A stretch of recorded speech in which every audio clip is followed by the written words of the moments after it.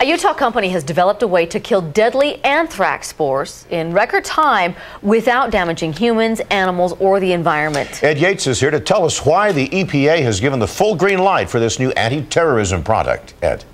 Well, Bruce, in recent years, anthrax threats, real or not, have targeted all 50 governor's offices, 100 U.S. embassies, 52 banks, 32 news organizations, Disneyland, Mormon temples, town halls, a sheriff's office, a daycare center, private homes, and even a funeral parlor. More than 1,000 white powder events, as they're called, have plagued the FBI over the past three years. That's why this new product could be a welcomed weapon. Developed by Utah based sBioMed, the sterilant killed anthrax spores in a lab in less than 30 seconds.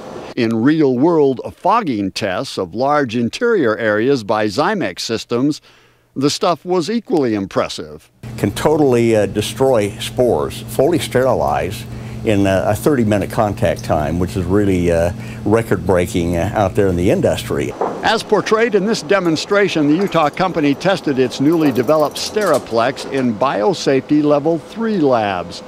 Anthrax spores can remain coated and dormant for thousands of years, waiting for the right conditions naturally or via villainous hands of a would be terrorist.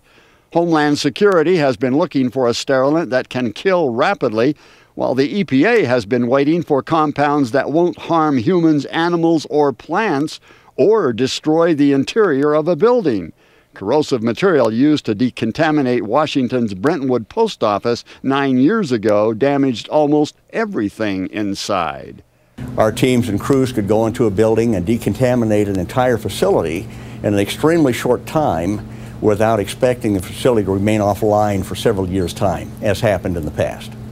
In fact, a building could be reoccupied an hour later. sBioMed ran 500 tests on various recipes before it found the perfect mix. Initially, the first product was was uh, constructed with ingredients from a grocery store.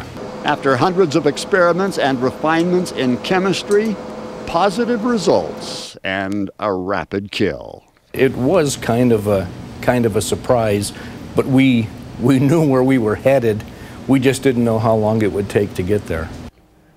In addition to uh, anthrax, the sterilant also kills nasties such as brucellosis, tularemia, and bubonic plague. Last week, Brian Larson and Daryl Tichy were presented the Utah Genius Award for their company's discovery. Bruce Deeney. Sounds very appropriate. Thanks, Ed.